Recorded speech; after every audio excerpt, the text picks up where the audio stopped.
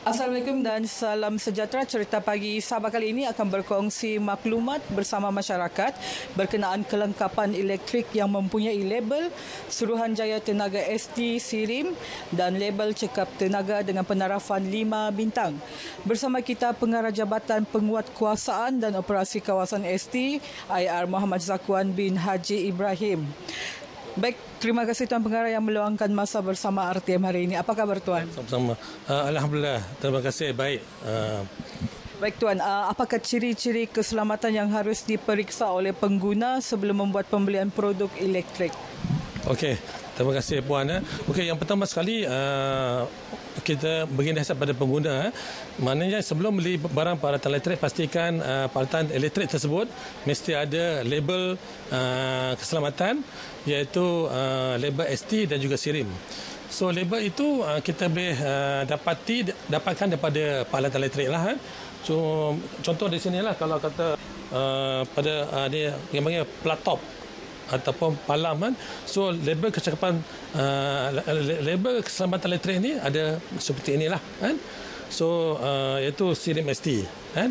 Dan di samping itu kita juga ada uh, label keselamatan juga tetapi dalam bentuk uh, emboss lah di sini ya iaitu dia dia sudah di print kan pada peralatan ini kan.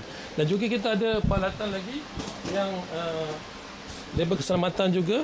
Yang kita ada yang terbaru yang terkini iaitu kita ada label uh, Sirim ST uh, ST Sirim iaitu kita ada QR code.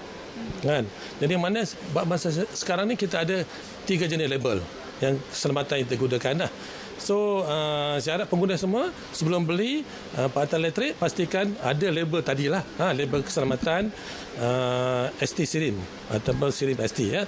Itu dari segi penjimatan dan kecakapan tenaga tuan, bagaimana pengguna boleh mengenal pasti produk atau kelengkapan yang jimat tenaga ni?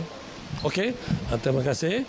Untuk dari segi uh, penjimatan tenaga uh, ataupun kita panggil uh, cekap tenaga, uh, kita uh, pastikan bahawa peralatan tersebut uh, masa ini kita ada uh, uh, sembilan jenis uh, peralatan yang kita uh, ada penerapan uh, bintang ha? bintang. Iaitu kita panggil um, apa ni label minimum energy performance standard. Kan iaitu standard uh, uh, keselamatan lah eh, standard uh, kecekapan tenaga lah kan jadi uh, label tersebut kita boleh lihat di sini. Iaitu kalau di sini uh, Uh, kita dapati bahawa label itu bentuk begini kan? Dia dan dia mesti ditampar pada peralatan uh, elektrik dan dia ada bintang di sini kan? Jadi untuk kita beli pastikan uh, produk tersebut uh, yang paling bagus iaitu kita yang ada lima bintang iaitu yang lebih paling jimat tenaga.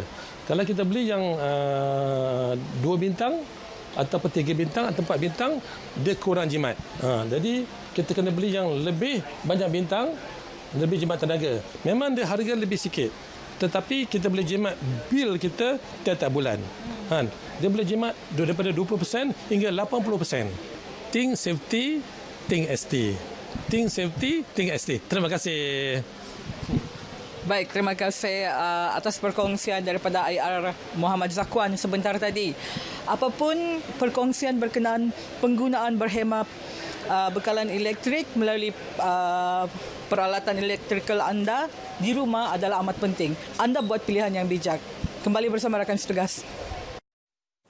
Ya, terima kasih.